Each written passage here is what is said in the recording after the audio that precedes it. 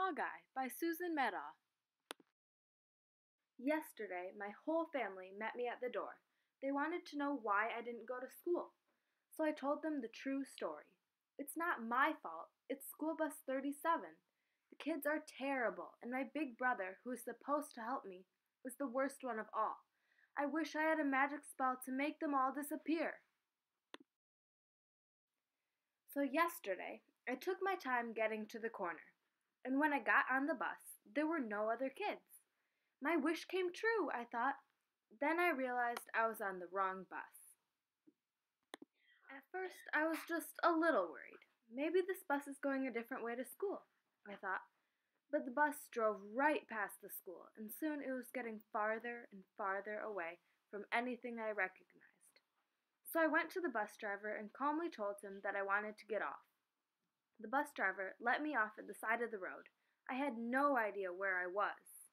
Fortunately, there was a sign, and you know I'm a good reader. If I followed the road, it would take a long time to get home.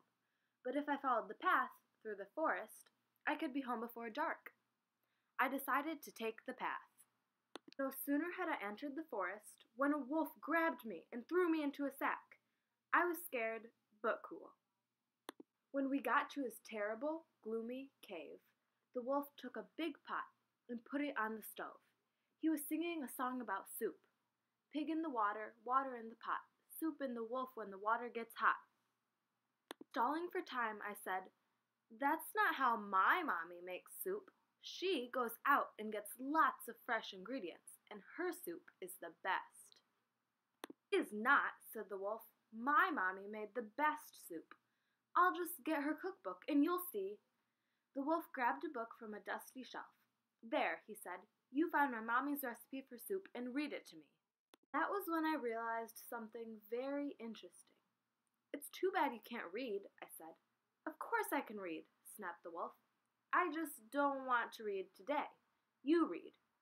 So I said, the first ingredients are carrots and potatoes from Mr. Gray's garden. The wolf tied me to the table leg and ran off to find Mr. Gray's garden. This was my chance.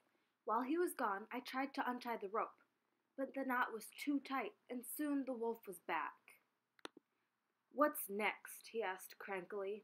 Sweet onions, I told him, and green peppers from the foot of Devil's Cliff. As soon as he left, I tried to chew through the rope, but again the wolf returned before I could escape so I gave him another ingredient pure water from Torrential Falls. Wolf limped off with a bucket. I was working on my third escape plan when the wolf staggered through the door with the bucket of water. Enough, he gasped. I'm hungry. I said to the wolf, There is only one more ingredient, but it is the most important ingredient of all. Without this ingredient, the soup will taste like spit. I drew the wolf a picture so he would be sure to get the right plant. This is green three leaf. I gave the wolf precise instructions. Find a large patch of it, because the more you get, the better the soup. Crush the leaves. The easiest way to do this is to roll around in them. Gather the juiciest leaves and vines and put them inside your shirt to keep them warm. The wolf did exactly as he was told. But when he got back, he said, Time to make the soup. I could tell he meant it. That was when I cast my magic spell on him. Wolf, I said, you have just brought me the final ingredient for my magic potion. Prepare to feel the power of Hog-Eye. Hoo ha, laughed the wolf. That's a good one. He picked up a match. I opened my eyes as wide as I could and fixed him with a mighty stare. Careful. If you light that match, you will have the urge to scratch. The wolf lit the match. Hog-Eye, Hog-Eye, magic stare, make him itchy everywhere, on his nose and in his hair, even in his underwear. At first, nothing happened. The wolf lit a fire under the pot. He put the carrots, onions, green peppers, and potatoes into the pot. He was reaching for me when he stopped to scratch one tiny little itch. One scratch led to another and another. The more he scratched, the more he itched, and the more he itched, the more he scratched, until finally he cried, Stop the hog eye! I'll do anything you ask. I told him I would release him the spell after he let me go. Hmm, said my father.